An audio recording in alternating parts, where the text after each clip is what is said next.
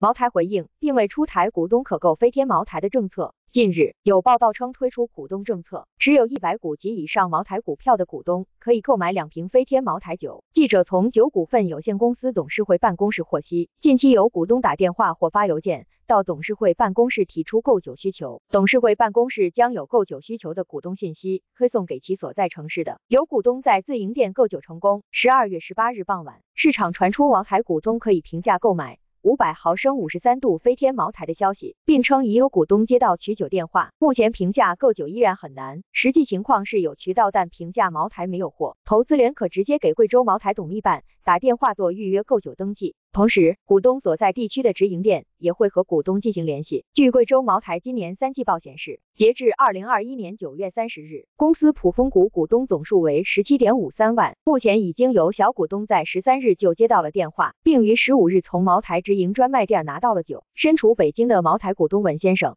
向红周刊表示，他还没接到茅台的电话，但看到这个消息很高兴。这是茅台年底向股东发的红包，虽然只有两瓶，但可以看出公司对股东的重视和尊重。作为股东，我是初次体验到和普通消费者的不同了。此前确实有股东因为买不到平价茅台酒而抱怨。对于本次活动，也有不愿具名的小股东对红周刊表示，希望茅台一定要准备足够的酒，不要抢购，只要酒足够，股东都有份，大家都有耐心等的。